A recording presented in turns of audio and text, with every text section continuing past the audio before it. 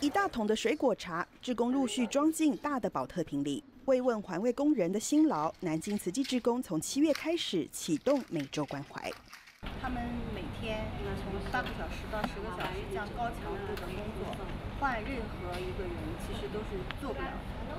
我们就通过这样的活动，其实启发的也是自己，然后越来越觉得他们是真正的需要，而且我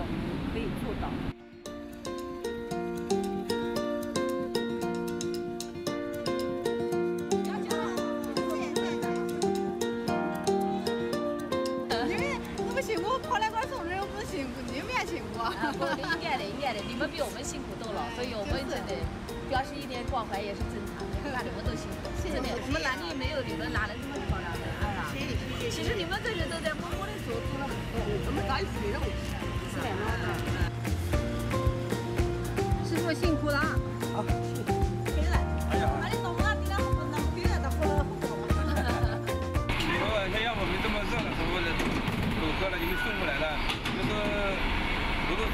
什么降温啊，什么东西啊，很好，很很感谢。你看冬天嘛，又受姜汤，真的很感谢。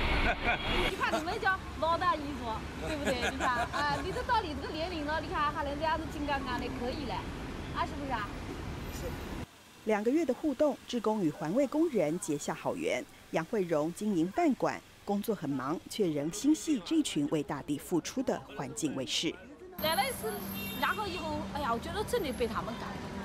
所以现在的话，我觉得，我就跟自己讲，哪怕每个星期坚持能抽出一天的时间，虽然不能做到全程，争取每次坚持一次。街边、社区的一隅，到处都可见到志工与环卫工人交心的画面，这也成了南京街头最美的心地风光。大新闻，这是美职工朱梅、范阳汉、王景南京报道。